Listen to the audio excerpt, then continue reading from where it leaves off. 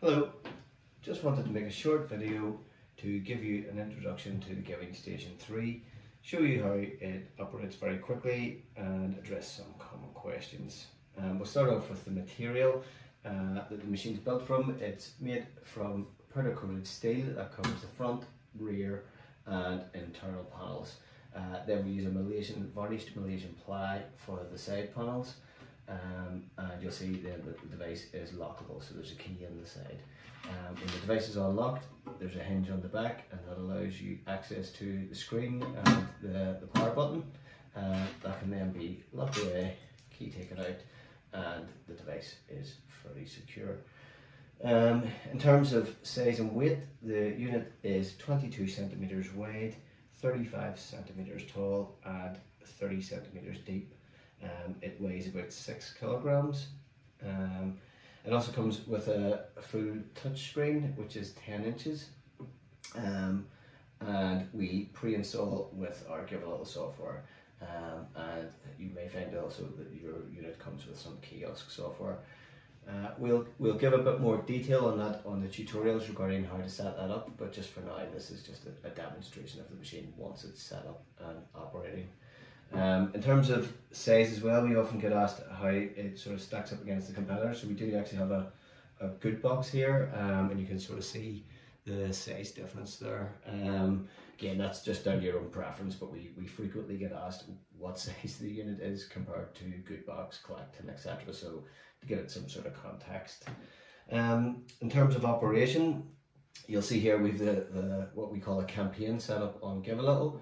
Um, these amounts are fully customizable, the tax etc. all customizable very quick on Givelittle.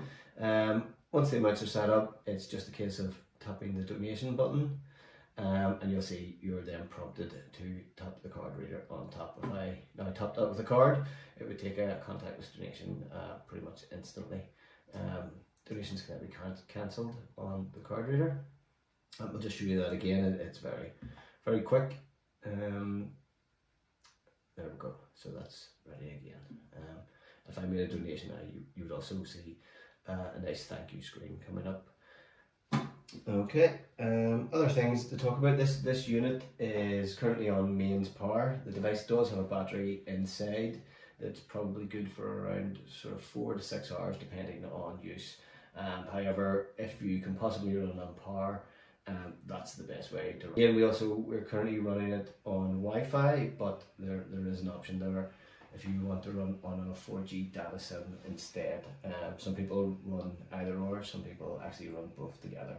Um, that's uh, entirely up to yourself. Um, in terms of the rear panel, um, just to show you how the power goes in, um, the cable just slots in the back. Uh, it's a common USB cable. Um, we also have a slot for a Kensington lock. Uh, these would be similar to what you would see in retail stores for locking down laptops, etc.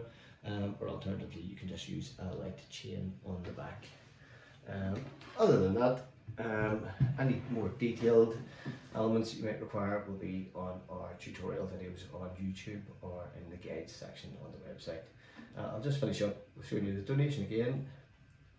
Very quick and very easy. Um, and if you're at the Giving Station, hopefully uh, you have many happy donations. Thanks for your time. Goodbye.